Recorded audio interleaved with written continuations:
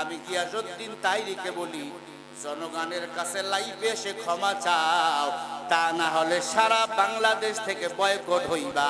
কারণ আমরা হক্কানি ওলামা ইকরামকে চিনি, আমরা কোনো ভণ্ডর মাতালকে চিনি না। এদের ষোলো কোটি মুসলমানের দেশ।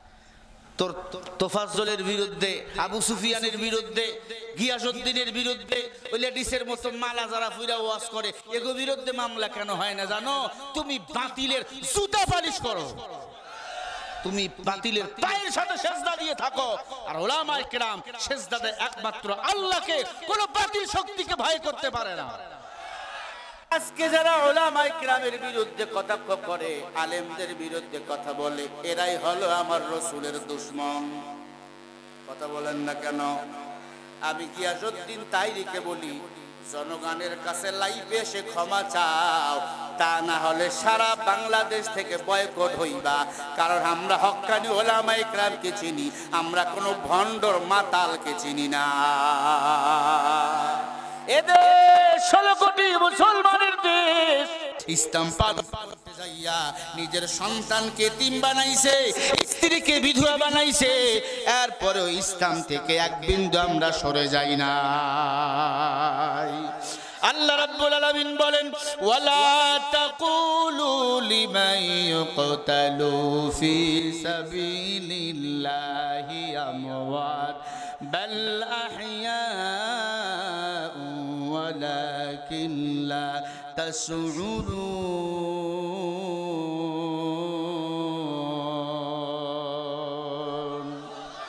আরও আস্তে করে বলেন, আল্লাহ বলেন, যারা কোরআনের জন্য, দিনের জন্য নিজের জীবনটা বিলিয়ে দাও, এদেরকে তোমরা মরা বলিও না, এরা হলো জিন্দা।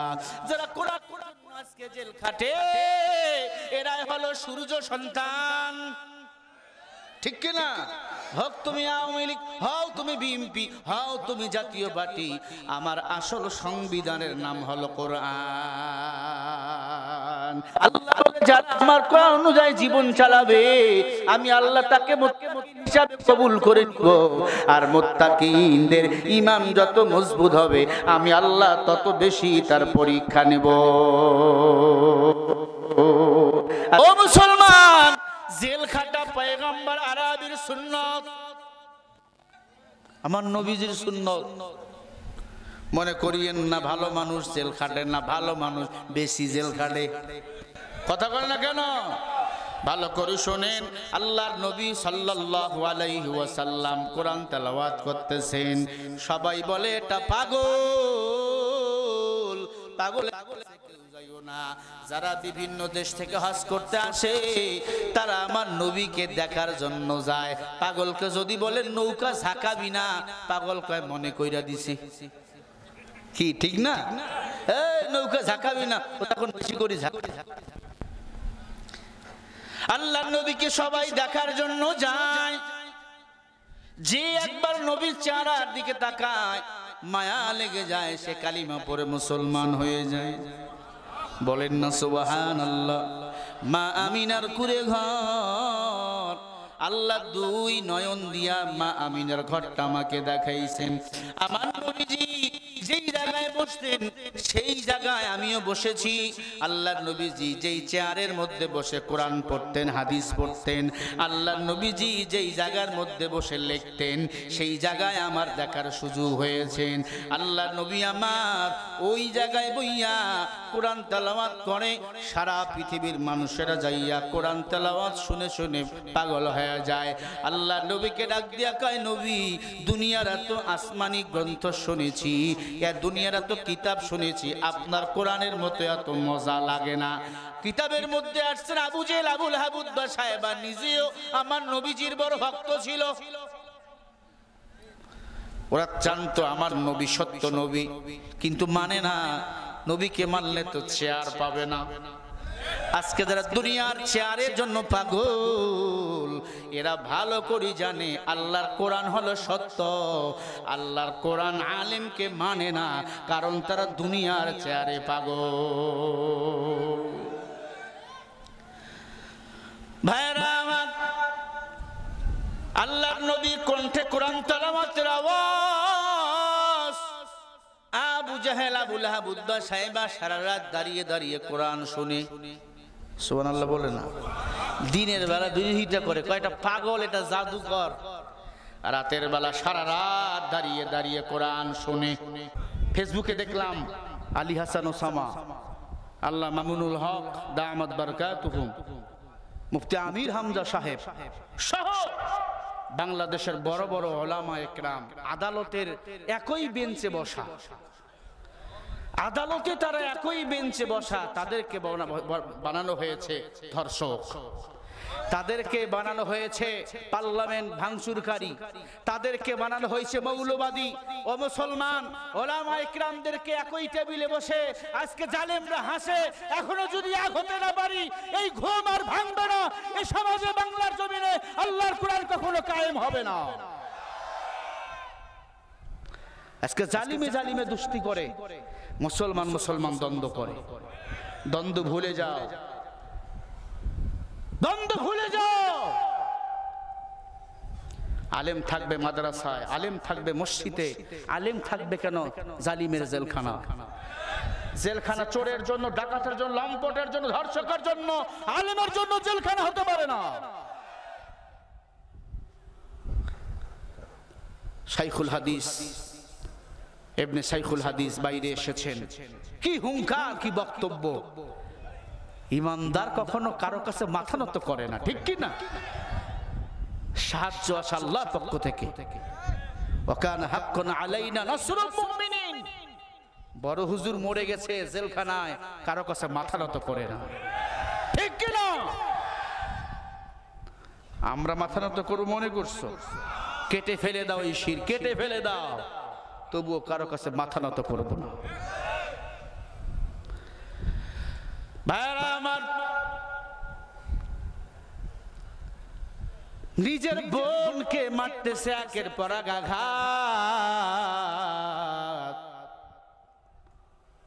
এই, ওদিক ওদিক দেখেন? হ্যাঁ? আমার কাম টু মাই পয়েন্ট। উমরের বোন ফাতেমা ডাক দিয়া কয়, উমর, আমাকে মারিস না, আমি আর সহ্য করতে পারি না।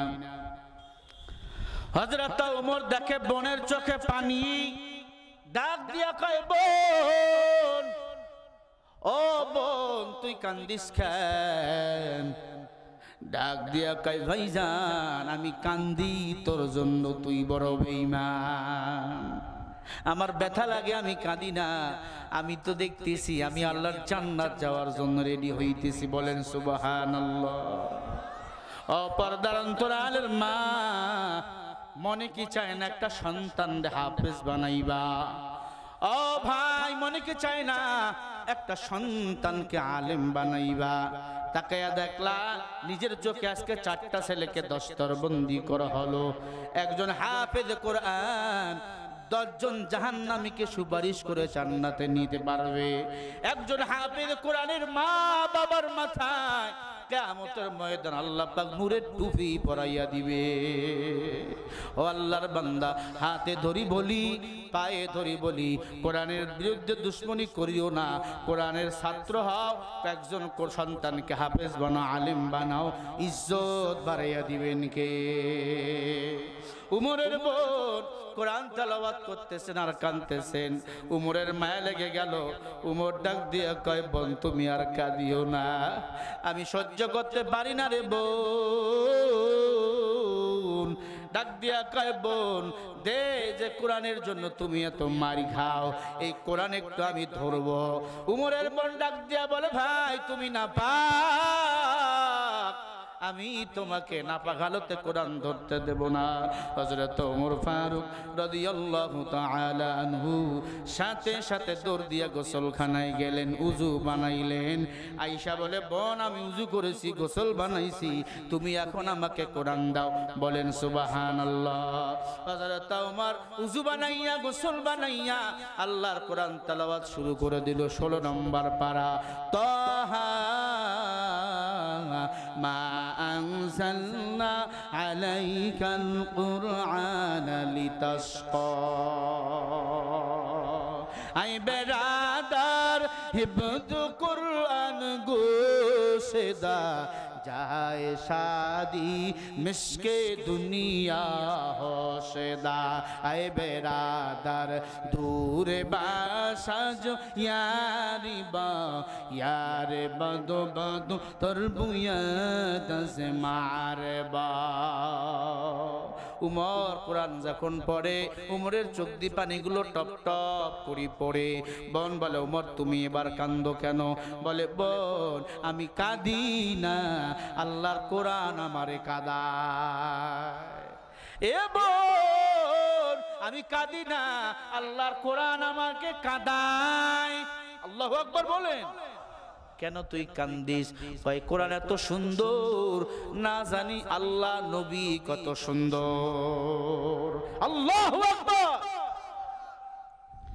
আলেম বানাইবা, তাকায়া দেখলা নিজের চোখে আজকে চারটা ছেলেকে দস্তর বন্দি করা হলো।